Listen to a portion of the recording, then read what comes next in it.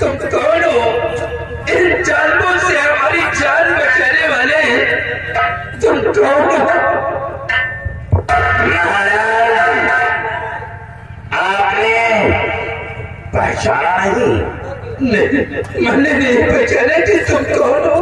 पहचानना चाहते हैं आप? और मैं पहचानना चाहता हूँ। पहचानो कि मैं कौन हूँ? पहचानो।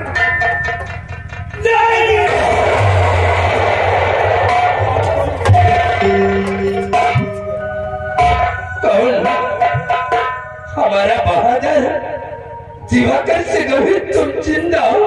हाँ हमने तो यही सोचा था कि तुम अपने पत्नी के गम में कहीं अपने दम को तोड़ दिए होंगे।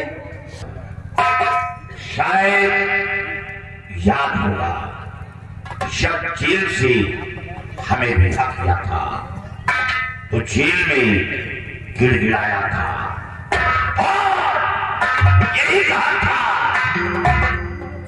एक बार मेरी बेटी से मिला देना वो मेरी बेटी पहले रानी की निशानी है मैं अपनी बेटी के लिए रातों दिन तड़पता रहता हूँ, आँसू बहाता रहता हूँ।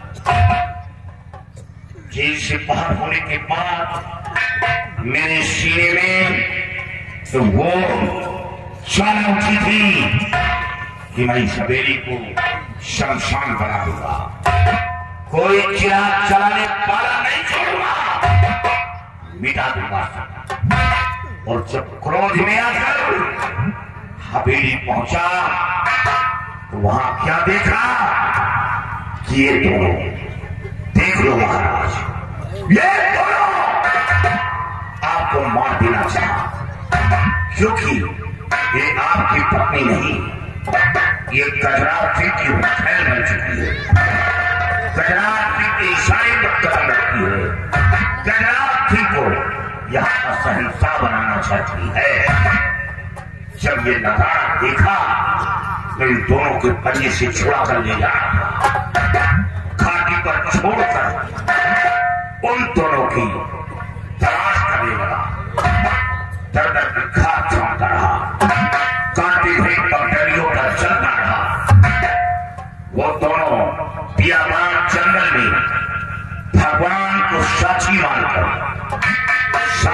रचाना चाहा वो शादी दी है।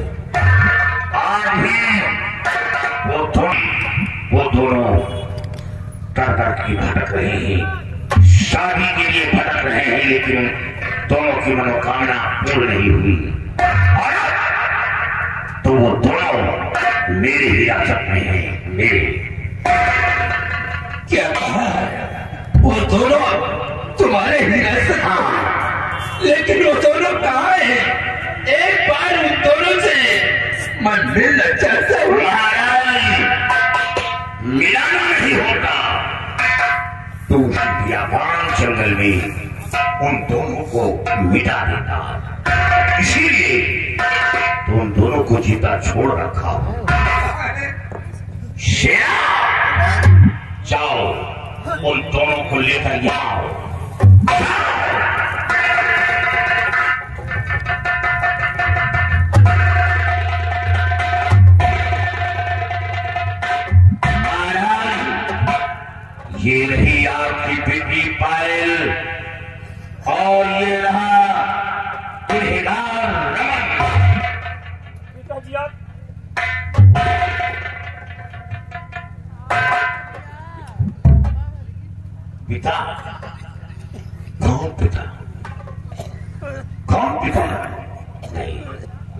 बाप बेटे का रिश्ता तो उसी दिन तोड़ दिया। जिस दिन तूने मेरे हुक्म की पहलवानी की, उसी दिन बाप बेटे का रिश्ता तोड़ दिया। तोड़ दिया! तो मेरा खून मेरा औलाद होता तो मेरे बताए हुए रास्ते पर चलता। महाराज ये दोनों गुनेगार हैं। इन दोनों को मौत की सजा मिलनी चाहिए। पिताजी मेरी माँ कहा है? मेरी माँ से एक बार मिला दो पिताजी। मेरे करीब नहीं आना नहीं मेरे हाथों से खून हो जाएगा। एक इतिहास बन जाएगा। कि बाप अपने औलाद को गोली चला दिया। मेरे घर में आज से माँ की याद आई। आज माँ की उस वक्त माँ का ख्याल नहीं आया। जब तो को लेकर तुझे समझाया था कि बेटे कहीं मत जा नहीं, मैं ज़िंदा नहीं बचूँगा तेरी माँ ज़िंदा नहीं बचेगी। उस वक्त माँ का ख्याल नहीं आया। आज भी वो दिन हमें याद है। तेरे के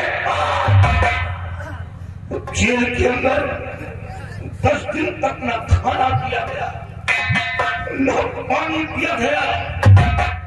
मेरी पत्नी से तड़प मैं चिल्ला रहा था। लेकिन कोई ऐसा तक जेल के अंदर मदद के लिए नहीं आया। दस दिन के बाद हमें भोजन दिया गया। तो मेरी पत्नी का शीश काट कर खाने की